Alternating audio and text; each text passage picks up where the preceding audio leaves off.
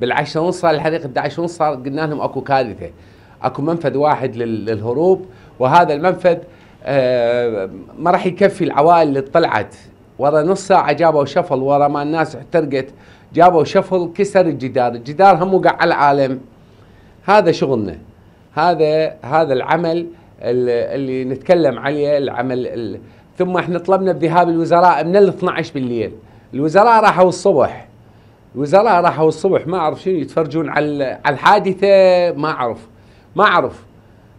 المفروض أنت بالوحدة بالليل أنت هناك عندكم طائرات سمكيه مسويها تاكسيات بهذا البلد. تاكسيات مسوين الطائرات. هذا يروح لفلان قاعدة وهذا ينزل إجازة وهذا ما أدري وين يروح. كل هاي نعرف بيها. مسويها التاكسيات وما عرفتوا تطلع بالوحدة بالليل تشوف تخليل الشهداء وتخليل الجرحى الموجودين. رايحين الصبح شو تسوون الصبح؟ شنو تتفرجون على الحادث؟ حالكم حال المواطن الاعتيادي مثلا؟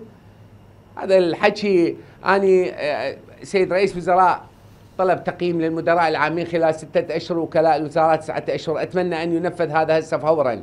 الوجبة الأولى تم إقالتهم. اللي ما يستطيع العمل خليه يقعد ببيته.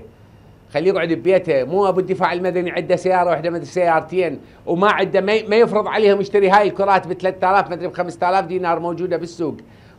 أي حريق يصير تطفيه فورا.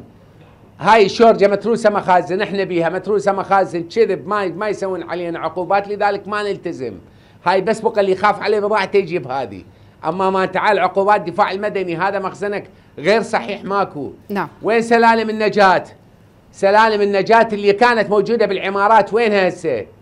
أي حريق يصير عندنا بعمارة بشارع الجمهوري بهاي عمارات جديده وين وين وين سلالم النجاة اللي كنا نشوفها؟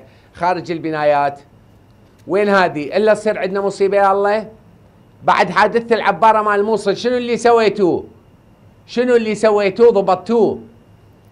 لو بس بس كلام وكذب وتكذبون على على الرئاسات وتكذبون على رئاسة الوزراء أربع سنين صار هاي القاعة أربع سنين صار تشتغل.